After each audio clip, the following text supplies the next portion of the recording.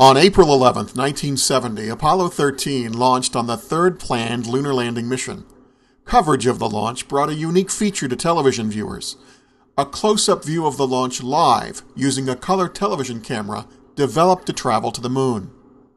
Stan LeBar was the Westinghouse project director for the lunar television camera. The networks wanted to do something very much different than they had, had ever done. So they asked us, they couldn't take a color camera and put it up, color television camera, and do a live shot from the LUT, which is the uh, thing, that structure that surrounds the Saturn V. It sits there.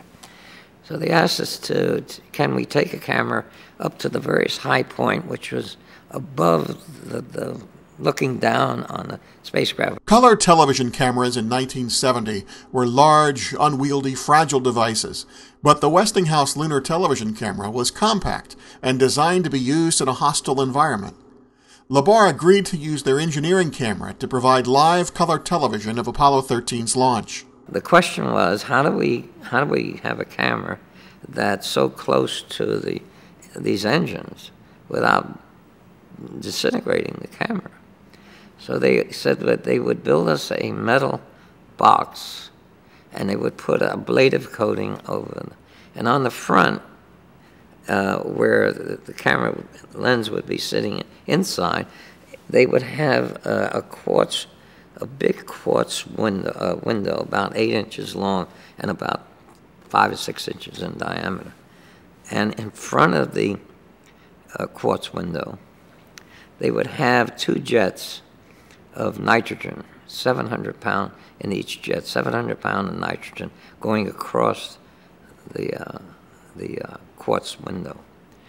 And they said, we believe that this would, would survive. I said, that's I appreciate that. The three networks had agreed to pay for this thing. They all paid for it except CBS refused. ABC and NBC did. So they held this plug out. They weren't going to plug CBS into the thing.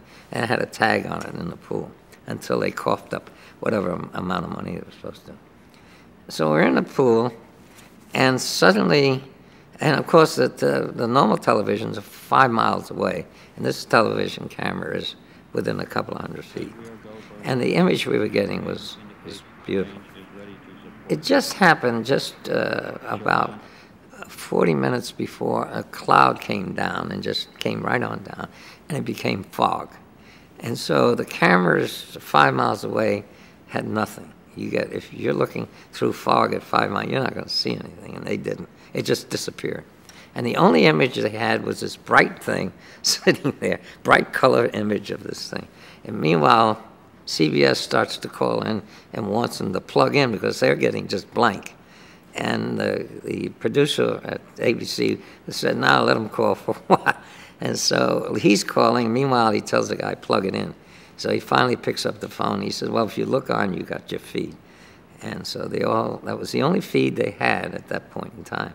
And then miraculously, uh, I don't know, 20 minutes before or so of the flight, the, the, the fog and cloud lifted and they were able to get their imagery. When the actual uh, launch took place, the first thing that we could see was these red things coming out, bursting out of the bottom of the uh, of the Saturn V, and it started to lift, and the camera just stayed on, and it got as high as uh, just about to where the engines were when it just died.